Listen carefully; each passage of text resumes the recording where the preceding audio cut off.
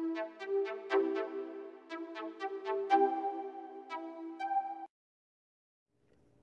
States.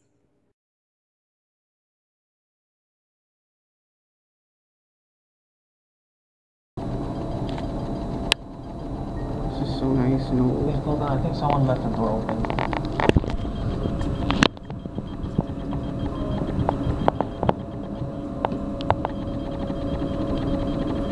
Tell me when it's. I can push it.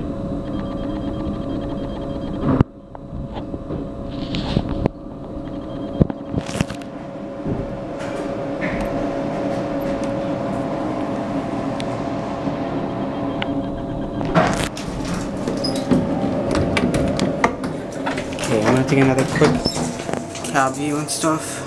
Same as the other one. This is nice and old. Yeah, they even look they are even look beautiful too. So I'm just going to random hotels, seeing if they have an old elevator. That's what I'm do. Can I push the button? Oh, sure. Hold it down. And just release. Yeah, I think it's fun. like I film old elevators for a hobby. Uh huh. Yeah, Oh, that's nice. yeah, it's pretty cool. I, well, I film all types of elevators for a hobby. My favorite ones are old elevators. Yeah, I grown to like this old elevator because like it's. I just like the sound. Yeah, it's cool. It has a lot of character. Alright, Lobby. so back to lobby.